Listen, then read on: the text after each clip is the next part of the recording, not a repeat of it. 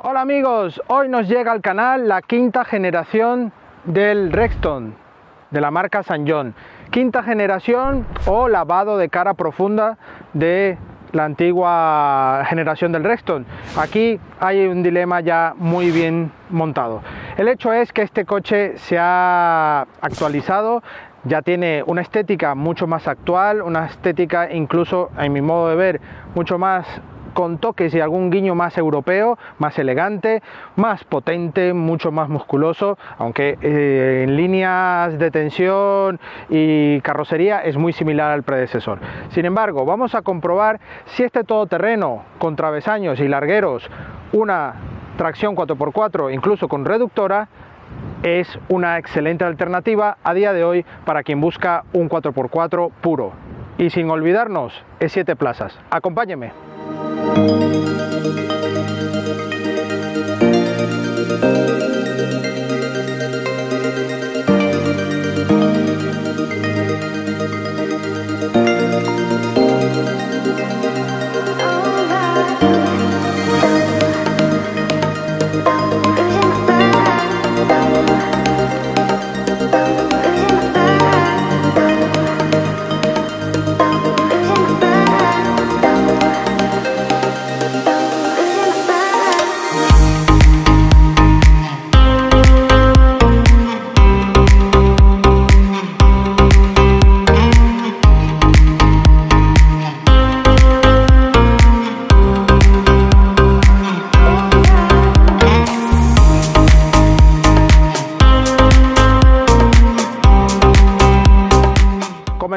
El frontal en este análisis exterior y aquí es uno de los puntos más destacables de este restyling o esta nueva generación. Aquí os dejo a vuestra decisión qué puede ser, si más una nueva generación o un restyling profundo de la anterior.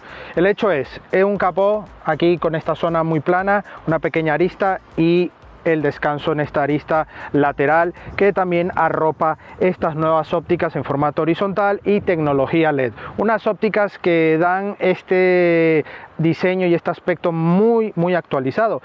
Y otro detalle muy sorprendente es la nueva firma de la calandra. Tenemos aquí el logo de San John, del doble dragón, aquí incorporado y todas estas lamas en cromo para darle este aspecto también muy elegante. Estamos con el acabado premium. Tenemos un acabado pro inicial, tenemos este que es el intermedio y luego tenemos la versión limited. Hay algunos mmm, detalles que podremos ver ahora en el lateral con respecto a estos acabados el paragolpes va todo integrado con esta zona en negro brillo donde integra unos antinieblas giratorios que permiten tener una buena firma lumínica. Matrícula en la zona más baja, el paragolpes remata aquí con un pequeño detalle en negro mate. Tenemos un muy buen ángulo de entrada que en la parte dinámica os comentaré y es un coche que ha nacido y sigue permaneciendo con aspecto off-road. En el lateral vemos este coche cómo mantiene la esencia de su anterior generación,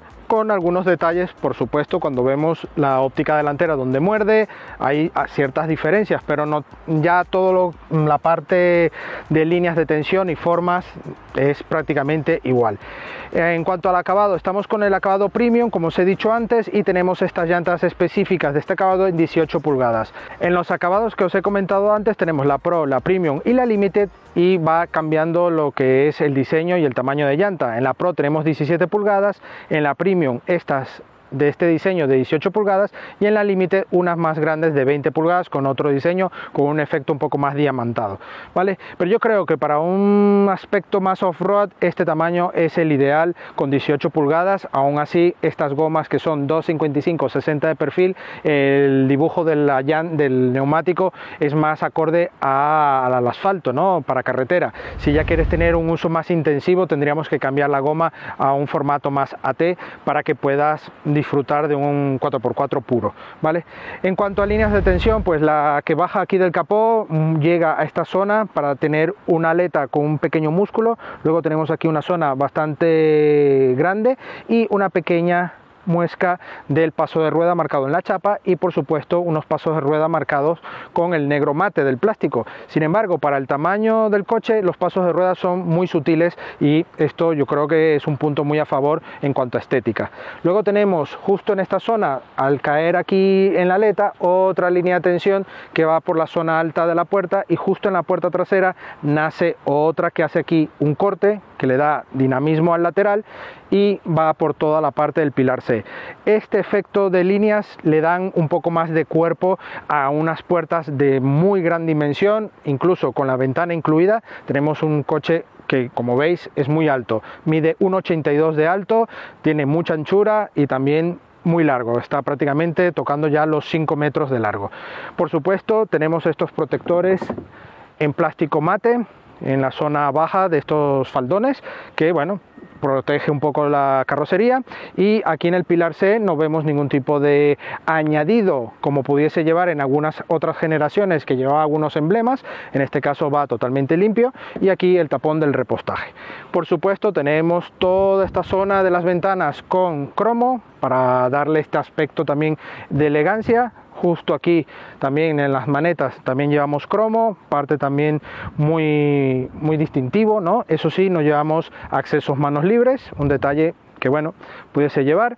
Y por supuesto pasos de rueda marcados aquí igual en la chapa y en la parte del paso de rueda del plástico por supuesto, vemos como el piloto trasero muerde gran parte del pilar C y además son de formato totalmente nuevos. Tienen ya una firma más de LED, más actualizada, una firma mucho más eh, actualizada con esta parte con cierto relieve cuando le pasamos la mano. Está bastante bien rematado estos pilotos traseros. Aquí vemos bueno un portón de muy gran dimensión. Este coche es bastante alto así que tiene mucho músculo. Un alerón muy simple aquí con la tercera luz de freno, podemos ver también la antena tipo aleta de tiburón pegada al portón, los deflectores aquí en los laterales, también en negro brillo, que acompañan a este cristal oscurecido, al igual que los cristales traseros son totalmente oscurecidos. Actualizándose a toda la novedad, pues mantiene ahora el nombre Rexton en la parte central, las letras, el nombre de la marca aquí en este lateral y la versión 4 wheel drive que es únicamente la versión que hay porque hay un único motor, solamente hay tres acabados disponibles. Un portón que bueno, aquí vemos la matrícula, lleva aquí la cámara marcha atrás eh, integrada y justo en el paragolpe vemos los catadrióticos y parte también de la firma lumínica de reversa aquí integrada. Un difusor que está en esta zona baja con estos efectos de falsas salidas de escape en cromo que bueno está de moda y aquí Sañón lo han incorporado en el Reston por supuesto el ángulo de salida está en el entorno de los 22 y medio de ángulo algo también muy bueno en el delantero 20,5 también esto en la parte dinámica ya os comentaré un poco más a fondo en el aspecto off-road. Vamos para adentro. Comenzamos por la parte interior, como siempre, por el maletero. Tenemos un maletero de portón manual pero tampoco es muy pesado, tiene buen formato y como veis se puede abrir sin ningún problema. Yo mido unos 77 y como veis no toco aquí en la puerta, en el portón y obviamente en toda esta zona que es la zona más baja de esta curvatura, no hay ningún problema. Aquí vemos este grandioso maletero que está alrededor de los 870 litros en esta configuración, 5 plazas. Si queremos la capacidad máxima batiendo los asientos de la segunda fila en formato 60-40, llegamos al entorno de los 1800 litros de capacidad. Eso sí, como es un 7 plazas, al usar las dos banquetas de la tercera fila ya nos quedaría unos 240-230 litros de capacidad de maletero. Que ojo, que no está nada mal. Hay que recordar, bueno, que aquí San John intenta aprovechar lo mejor posible de este maletero y aquí vemos cómo hay algunos huecos en el lateral, aquí estos huecos que también sirven para las personas cuando vayan sentadas en estas banquetas y tenemos esta zona que la bandeja se puede ir en doble altura, por llamarlo de, esa manera, y quedaría de esta manera, digamos, al ras de la boca de carga. Y aquí vemos los asientos. Estos asientos simplemente tiramos de esta cuerda, ya estaría. Vamos a dejar aquí esto y así nos quedaría el maletero en el formato de 240 litros con la opción 7 plazas activada. Aquí vemos cómo tiene toda esta zona de espacio para los asientos de esta tercera fila. Así que unas buenas banquetas en esta tercera fila. Ahora vamos a comprobar en el interior qué tal son. Acompáñame. Bueno, vamos a entrar a las filas traseras. El acceso no es demasiado cómodo, ya os digo. Pero esto es típico en este, en este tipo de coches. Ah, pues ya estamos. A ver, como primer punto, esta banqueta, la segunda fila, no tiene desplazamiento y esto nos va a limitar el poder configurar un poco más el espacio. Sin embargo, al bajar el asiento, mi compañero Alex que está aquí ayudándome, aquí tenemos esta parte y ya estamos con el asiento cerrado. Vale, aquí ya estamos con la banqueta totalmente cerrada y tengo espacio, vamos, suficiente de un dedo de separación. Ojo, pero la altura para las piernas no es lo más adecuado.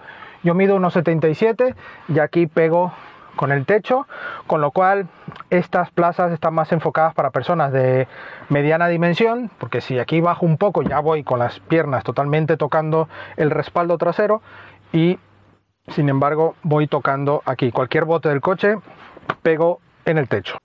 También hay que destacar que bueno, tenemos aquí algunas cuerdas para dejar objetos, aquí una bandeja que ya habéis visto en el interior del maletero y un cargador 12 voltios para las personas que vayan aquí detrás. No hay salidas de clima en esta zona, algo que pudiese estar bien, pero bueno, estas dos plazas son para uso muy esporádico y personas de mediana dimensión, porque ya como os digo, yo mido 1,77, no soy tampoco muy alto, no soy para agua sol y aquí voy pegando con el techo, ¿vale? Pero son dos plazas que, bueno, a día de hoy para hacer un todoterreno puro está muy bien tener esta alternativa. Así que nada, vamos a ver las plazas de la segunda fila. Bueno, vamos a ver las plazas traseras de esta segunda fila. Este coche tiene 20 centímetros de altura y hace que el acceso sea un poco más complicado para personas de movilidad poco más gente mayor, niños, pero estos coches son así, ¿no? Aquí tenemos este asidero para ayudarnos a entrar y ya no hay ningún problema. Cerramos la puerta. Un coche que tiene un buen ajuste, al cerrar la puerta se siente un coche bastante bien rematado y aquí encontramos mullido en la parte alta, ya aquí encontramos plástico duro, pero en las puertas también encontramos en el reposabrazos toda esta zona, negro brillo y material en piel. Y la verdad es que la mezcla de materiales y acabados está muy muy bien. Aquí en la zona de la maneta tenemos así un aspecto bien rematado como en, acabado cromo de metal, pero es totalmente plástico. Pero bueno, le da buena sensación. Aquí el asidero en plástico en esta zona altavoces aquí en la zona baja y una bandeja en la puerta que incluso podemos llevar una botella de buena dimensión allí alojada. Aquí, bueno, como sabéis, esta banqueta no se desplaza horizontalmente, pero sí tenemos una alternativa para abatir o reclinar, mejor dicho, la banqueta hasta esta posición que podremos ir echándonos la siesta en cualquier viaje. Esto le da un plus de calidad a estas plazas traseras. Incluso vamos a llevarlo a ver, hasta esta posición que vamos con una espalda bastante recta o en esta posición que ya vamos un poco más reclinados. La única pega que bueno, son dos banquetas unidas, esta con la central y esta que es individual. Hubiese quedado bien tres banquetas individuales y le daría mucho más calidad, ¿no? Pero bueno, estos detalles.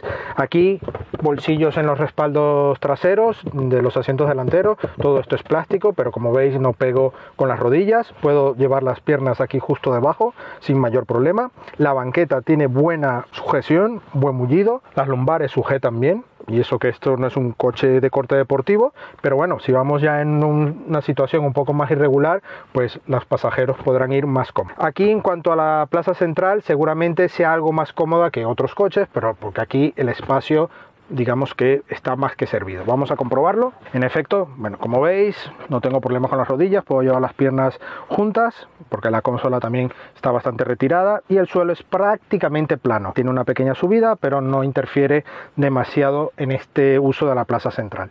Lo único el respaldo trasero que es un poco más incómodo debido a que llevamos nuestro amigo reposavasos que lleva aquí un sistema en negro brillo también muy muy contundente y todo esto hace que sea un mullido mucho más duro. Aquí llevamos incluso una guanterilla para guardar objetos, un detalle muy chulo, incluso con una alfombrilla así engomada para limpiar más fácil y esto bueno le da más confort a las personas que vayan aquí en el lateral para ir prácticamente en un coche limosina ¿no?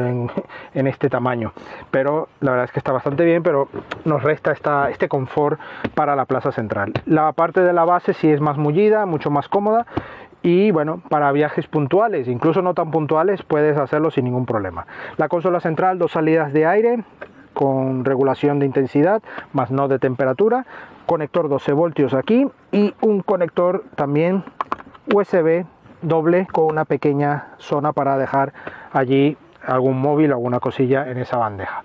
Para las familias, bueno, Sañón no se olvida de ellas, tenemos aquí anclajes ISOFIX en los dos laterales, eso sí, va entre las dos bases de este asiento, así que tendremos que tener algo de cuidado para no cargarnos este tapizado de cuero incluido en el acabado premium de esta versión. Vamos a las plazas delanteras. Plazas delanteras tenemos el mismo problema, o no problema, el mismo detalle para acceder a este coche, es un coche alto, tenemos que subirnos y ya, muy bien, aquí estamos en un coche que mantiene ciertos detalles de su antecesor, pero que San John le ha dado un poco más de calidad ¿no? en ciertos materiales. Aquí encontramos plásticos muy buenos al tacto, a la vista también. No son mullidos en esta zona, esta zona ya un poco más mullido. La puerta se mantiene como en la puerta trasera con muy buen acabado, buen remate.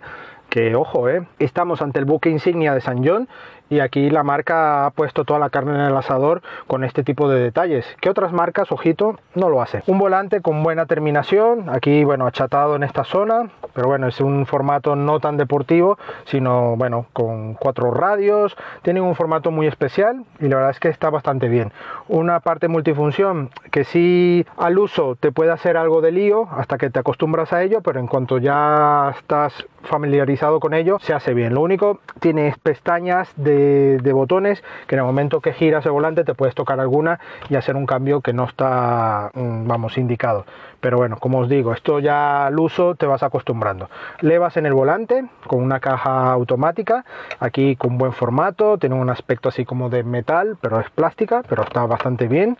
Acompaña siempre el volante, limpias automáticos, luces automáticas y en este acabado premium llevamos el cuadro de instrumentos tradicional con dos esferas mm, bonitas, simples, con un ordenador de a bordo monocromático, también con buena información y el cuadro de instrumentos digital está disponible para la versión Limited, al igual que el techo solar y dispuesto en el techo. ¿no? Algunos detalles también como la calefacción y ventilación de los asientos delanteros, también para la versión Limited. Más detalles que en la prueba escrita os comentaré mucho más al detalle. Aquí en la parte central tenemos la pantalla con Android Auto y Apple CarPlay, una infografía que no me termina de convencer, un poco bueno, mejorable. Y aquí el sistema de clima con botones físicos, aquí la parte del dial con regulación de intensidad, es un clima bisona bastante legible y bueno, al ser botones físicos la verdad es que te haces rápido con él, tiene aquí unas pequeñas pantallas para el tema de la temperatura y poco más. Aquí una bandeja, bueno, con una pequeña tapa para poder tener todo privado, pero en este caso no tenemos ningún tipo de carga inalámbrica ni nada por el estilo. En esta zona tenemos dos bebidas y dos puertos USB justo aquí eh, integrados. Toda esta zona más cercana al piloto tenemos la nueva palanca de cambios tipo joystick, ya muy similar incluso a marca alemana como BMW, que tiene muy buen detalle. La verdad es que está chula, no tenemos la típica palanca que hay que recorrer para llegar a las marchas. Y el sistema de mando, freno electrónico, de estacionamiento, los modos de conducción, start stop, también tenemos sensores de parking, el auto hold y aquí el pequeño dial para hacer uso del 4x4. Tenemos el 2H, 4H y el 4 low, que es la reductora, que es algo muy importante en un todoterreno puro y lo incorpora el resto. Aquí, bueno, tenemos una guanterilla, esto la tapa nos sirve de reposabrazo, pero no es eh, regulable en altura ni en profundidad, pero ya como veis está muy bien en altura una guantera con un formato muy convencional para guardar una billetera, una cámara, unas gafas, lo que quieras, ¿no? Pero está bastante bien aprovechado y un conector 12 voltios en el interior. En la parte superior tenemos el plafón iluminario, también con la parte para indicarnos los cinturones de seguridad y todo el sistema de micrófonos allí integrados para la conectividad con el móvil. Aquí los tapasoles con iluminación en ambos espejos de cortesía con un buen formato y un buen acabado. Aquí todo el techo en una tela eh, color claro para darle este aspecto también de tonalidad eh, y calidez en el interior y estos efectos así estilo metal que le da una calidez y un, buena, un buen remate en el interior. Tenemos guantera con buena dimensión e incluso lleva llave si queremos cerrar allí lo que queremos llevar en la guantera. Dos bolsillos en ambas puertas con buen tamaño para botellas de gran dimensión y algún objeto más. Por supuesto tenemos llave para encendido, nos ponemos ya en marcha a ver qué tal va este San John Reston en la carretera. Acompáñenme.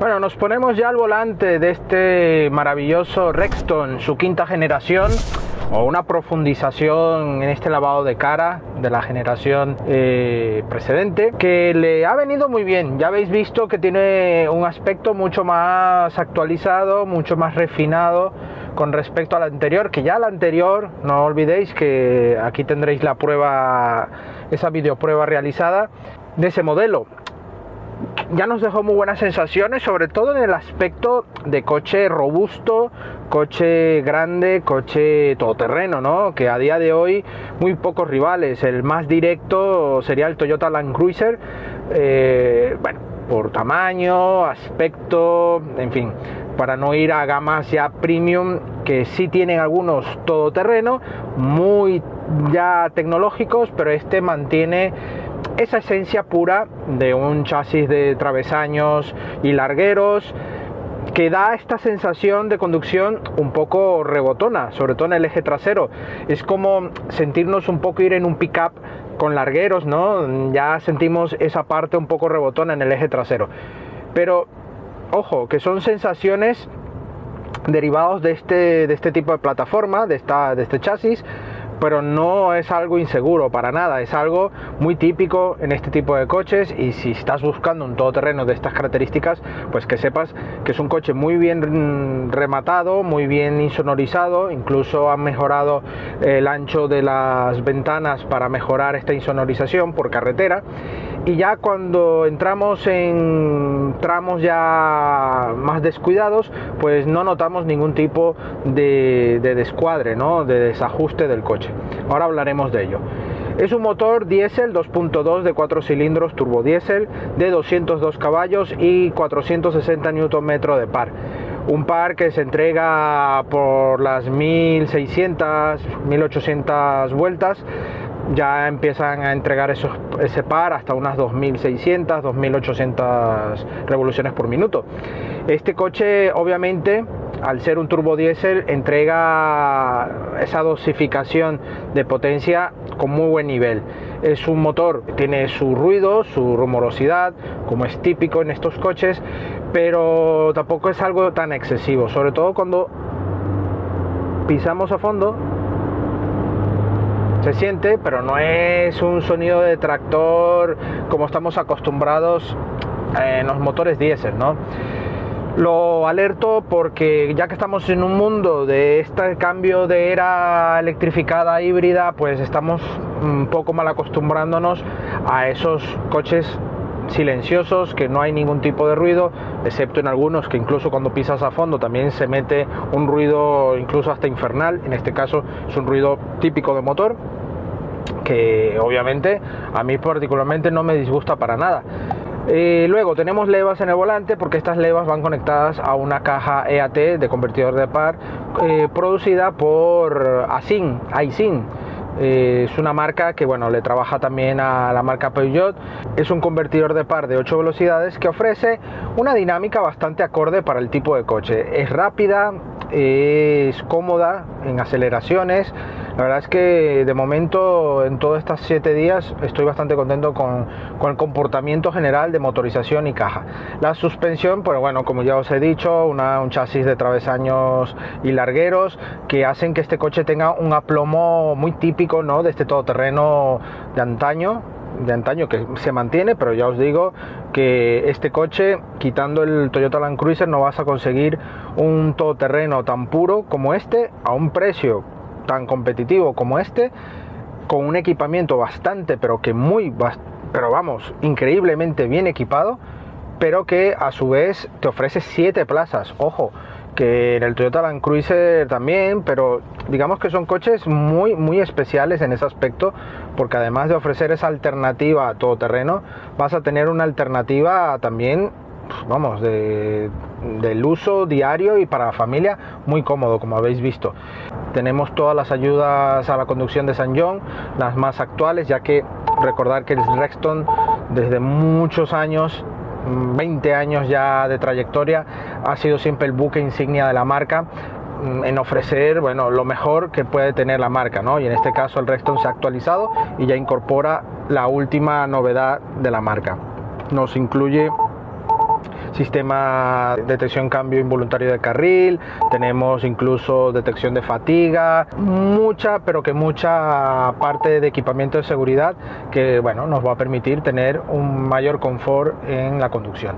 El puesto de conducción, los asientos recogen bien, son muy confortables y tienen buena sujeción, tenemos buena visibilidad por los espejos exteriores y en el interior también tenemos una muy, pero que muy buena visibilidad. Es un coche que ya os digo, en cuanto a disposición elementos, está todo muy bien ubicado, es un coche muy grande, muy ancho, nos sentimos muy cómodos. A nivel de off-road, ahora mismo vamos a ir a una pequeña parte de, off-road para comentarles un poco más a fondo este punto.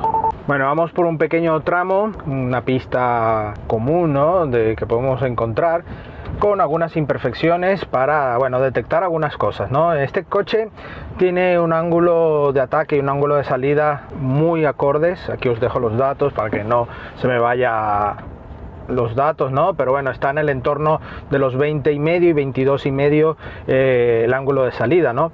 Son ángulos muy, muy buenos para hacer frente a, a terrenos off-road más complicados. Pero aquí, como veis,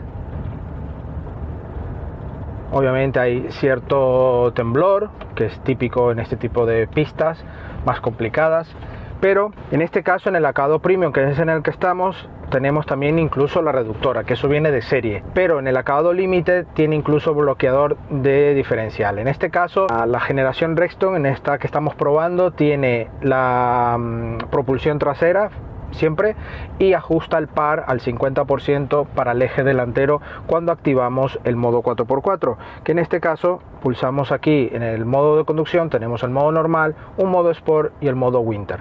Luego tenemos justamente para seleccionar los modos de conducción. Tenemos el modo 2H modo 4H y un modo 4L que es la reductora vale ahora mismo ya vamos en modo 4x4 4x4 high four wheel drive high. Y ya estamos con esta tracción 4x4 vamos un poco más lentos pero como veis tenemos también gomas convencionales de verano.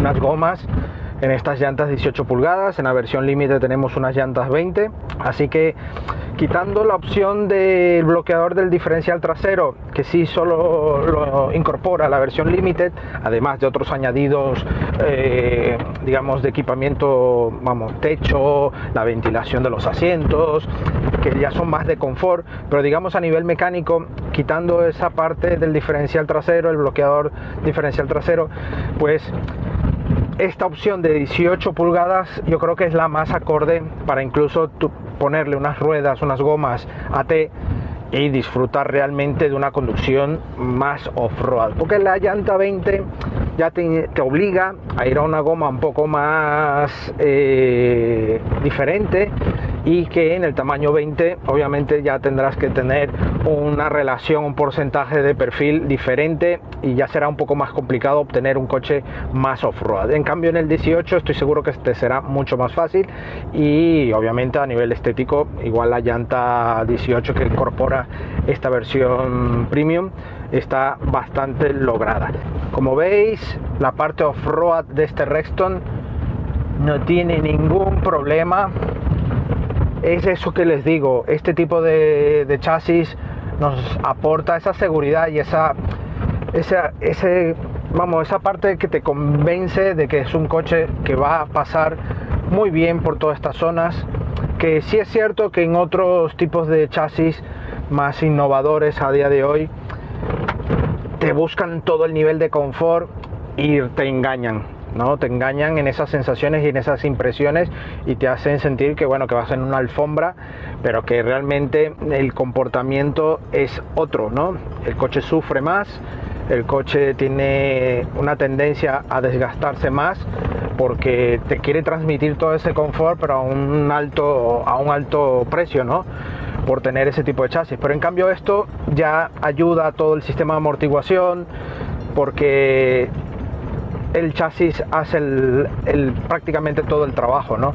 Y claro, esto para este tipo de, de uso es, vamos, ideal.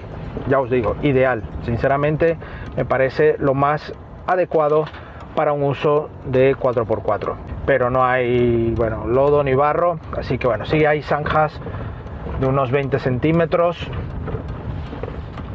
y que pasamos sin ningún problema me paso un poco más que todo para comprobar, para ponerle un poco más a prueba. Pero ya como veis, tenemos el ángulo de entrada, el ángulo de salida. No hay mayor problema. Es un coche contundente, eso sí, es un mastodonte coreano. Bueno, ahora vamos a probar el control de descenso aquí en una pequeña pendiente. Vamos a activarlo. Vale. Ya está activado. Ahora sí va en funcionamiento. Está trabajando a unos 8 kilómetros por hora. Está haciendo su función. No voy tocando ni freno ni acelerador. Sí sí atento. Ya estamos acabando con esta pendiente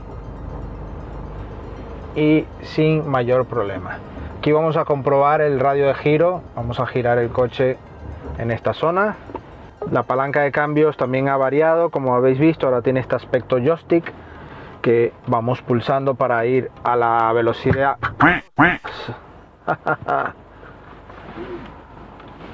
Tenemos esta palanca de cambios que ya es tipo joystick, algo más actual.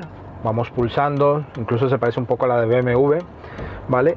Y vamos pulsando la opción que queremos engranar. En este caso ya no tenemos ese típico recorrido de una palanca de cambios que hay que pasar por todos los niveles o por todos los cambios para llegar a la que deseamos. ¿no? En este caso, bueno, ya como veis tenemos una buena entrega de estos 202 caballos para este Rexton. Así que amigos, ya os digo, este coche ha nacido para continuar la estela de 4x4 puro un 4x4 a su manera, a la manera de San John, pero, pero, pero, ya sé que estáis esperando el tema consumo, un consumo que está en el entorno de los 7,8, la marca homologa unos 7,2, ¿vale? Si mal no recuerdo, eso ya os digo, no es que sea imposible, pero muy complicado. Es un motor diésel que sí, que puedes ir en autovía, ir logrando consumos muy similares, por eso os digo, está en el entorno de los 7,8, pero, pero, pero ya en cuanto le damos algo más de chicha y un poco más de carácter off-road que te sales, estás en el entorno de los 9 litros, 10 litros fácilmente. Pero ya os digo, es algo muy, muy acorde al concepto de este coche, así que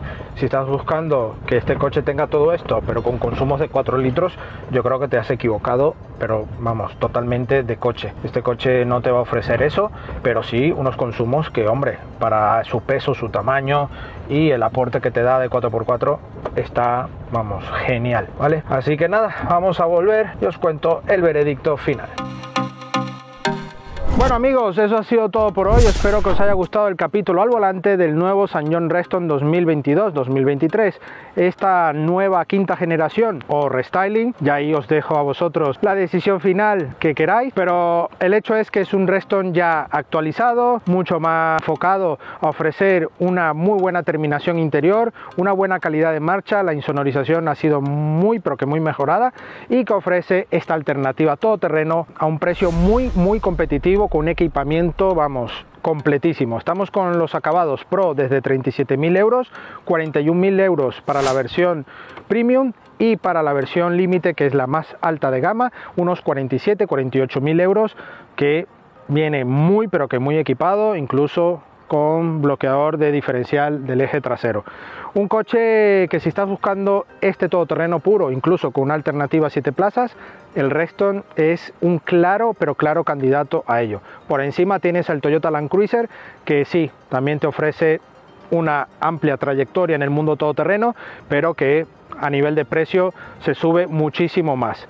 Eso sí, no olvidéis, tenemos la comparativa de este Reston con la generación de las primeras generaciones que si quieres eh, acceder a ella para tener un poco la visión de lo que era el Reston de sus comienzos, luego de 20 años tener esta nueva generación, pues te invito a visitarla. Aquí os dejaremos la tarjeta para que visitéis esta gran comparativa. Así que nada amigos, agradecemos a San John España la sesión de este Rexton y a vosotros la visita. No olvidéis suscribiros al canal si aún no lo habéis hecho, dejarnos un like y por supuesto dejarnos tus comentarios aquí y activa la campana para que te lleguen las notificaciones. Por supuesto nuestras redes sociales, Facebook, Instagram y Twitter donde tendréis la actualidad del día a día de nuestras pruebas y actualidad del motor. Por supuesto la prueba escrita de este de otros coches y también de motos en nuestra web supermotor.online. Nos vemos en una próxima entrega. Hasta pronto.